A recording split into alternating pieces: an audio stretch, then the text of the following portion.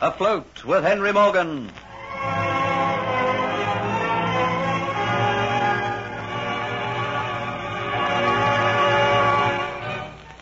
After the sacking of Santa Paula, Jeffrey Hunter manages to convince Captain Henry Morgan that he was innocent of doing any harm towards him.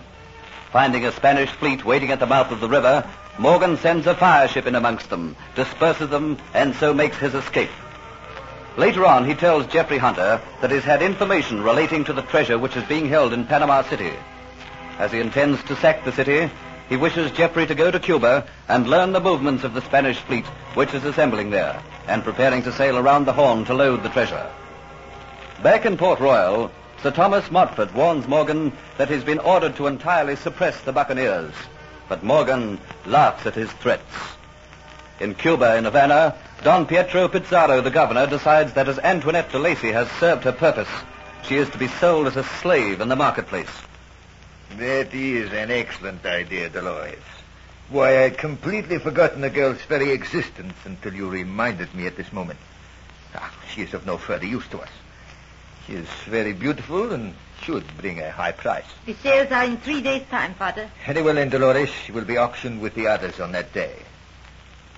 Hey, what is it that you're looking at, Dolores? From this window, Father, you can see the ships in the harbor. There are a great many of them. Never in my life have I known so many of them to be assembled at once in the harbor. Mm, they are a fine-looking lot, are they not? But, Dolores, they are a great responsibility. I'll be indeed glad when they leave Cuban waters, and I shall be a lot happier still when they're safely back in Spain. What are they assembling for? When they are all ready, they leave for Panama City, sailing around the Horn. Panama City has been collecting treasures for too long. We feel it is not safe for them to be kept in this part of the world any longer. So they are going back to Spain. It will be the biggest armada of treasure ships that Spain ever had on the sea at the one time. With Morgan still at large, I will not rest until I hear that the ships have rounded the Horn and are safely back in Spain. Ah, why did our plan to trap him have to fail? Not only did we lose him, but we lost many of our finest ships. The next time, Father, we make sure that Henry Morgan is not cleverer than us. If only we could know where the devil intends to strike next. And if only I could lay my hands on one of his men just for a little while. One of his men who know all his plans. Then it would make a great difference. And this time I cannot help you. Even if I were free to go back to Jamaica, Jeffrey Hunter is dead. And even if he were alive, it would be no good because I destroyed all the trust that Morgan once had in him. No, no, no, no. You cannot help me this time. Oh, but how I would like to help you, Father. I should like to relive all those moments of excitement that I felt when I was in Jamaica. We had the opportunity to trap Henry Morgan Dolores, and we missed that chance. We can just hope that the fates will give us another chance.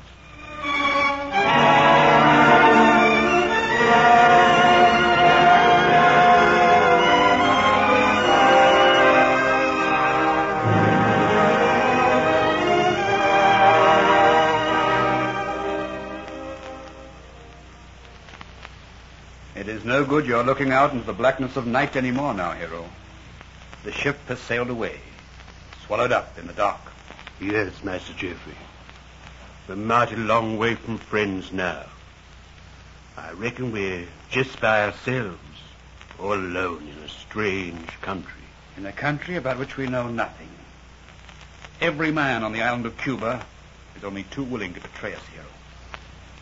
We have arrived. The future of our very lives depends upon our own two selves. I was mighty scared, Master Jeffrey.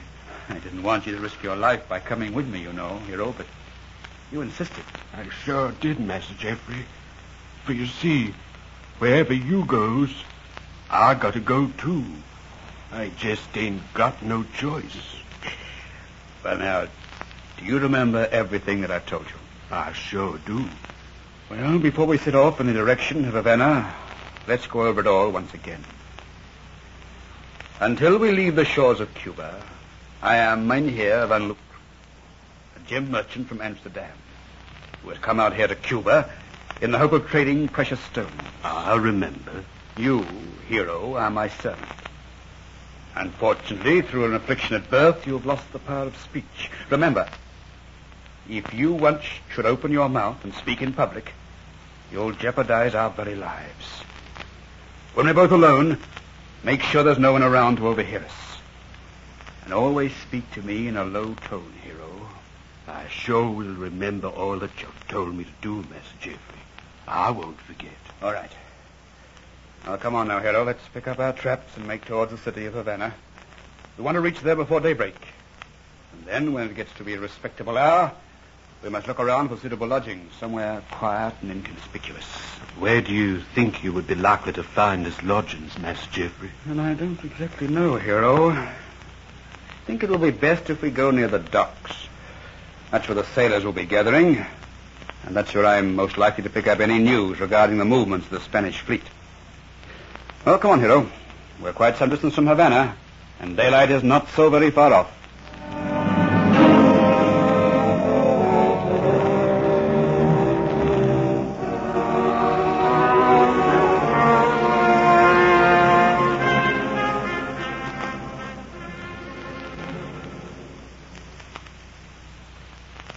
Why, Kitty, what's this?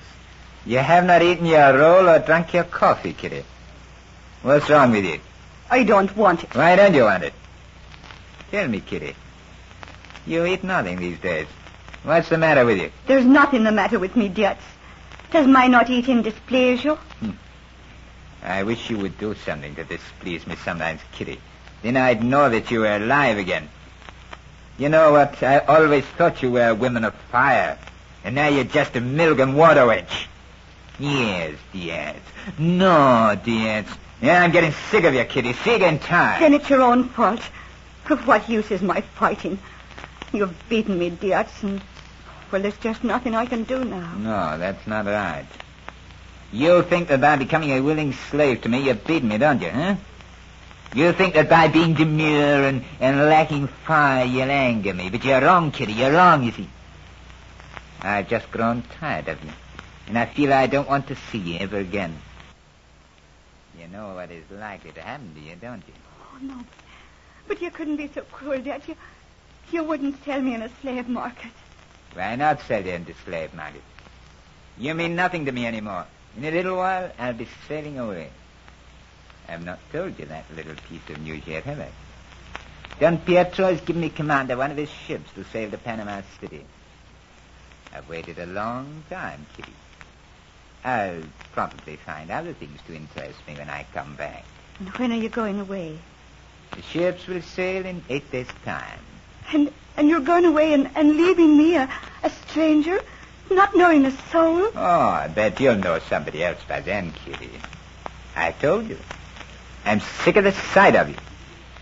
I'm going to sell you in the slave market in two days' time.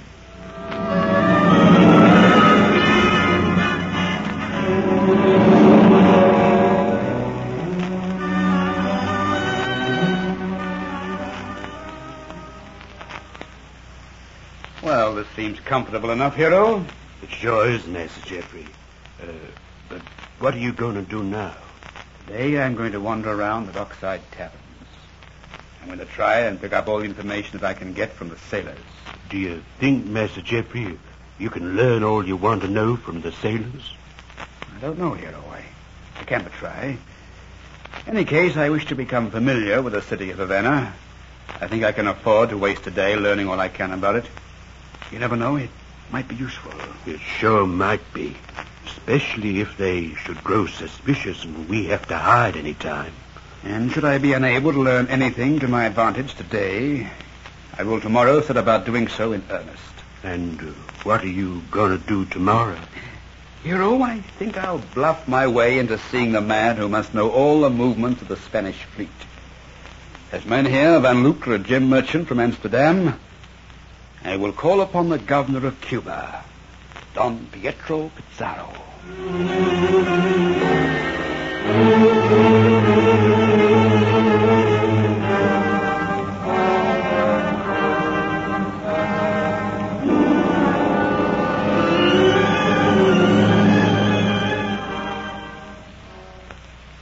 This information that you bring to me, Mynheer Van Luke, It is most interesting. Of course, Don Pietro, you understand that I'm only interested in the very best stones. You see, Cuba is my first port of call. Well, then, Mynheer, you've certainly come to the right place. It will be an honor indeed to do business with you. Eh, it is a pity, though, that a lot of gems will not be coming back to Cuba. Mynheer, do you see that fleet of ships down there in the harbor? I have noticed them. Well, those ships are preparing right now to sail to Panama City. You see, mine Mynheer, the city of Panama is just bulging over with treasure. That fleet of ships will be taking that treasure back to Spain. But, of course, they will not be coming back here to Cuba. They will cross the Pacific Ocean. That's very unfortunate, Don Pietro. Will they be sailing soon? Perhaps it will be possible for me to get a passage aboard one of the ships.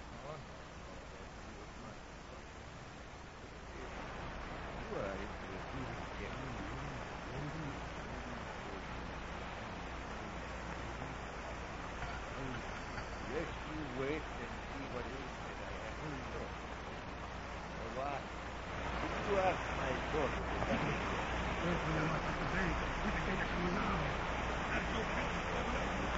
That will make your eyes dance with joy when you see it. This is the most beautiful jewel that I have. The most beautiful jewel you've ever seen. Ah, Dolores, Dolores. Sunrise is I have someone here. Someone I'd like to... Yeah, you look like that. I thought you were in the water.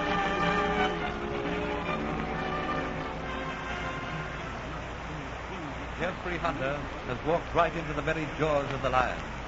Listen to the consequence of this dramatic meeting in the next exciting episode of Afloat with Henry Morgan.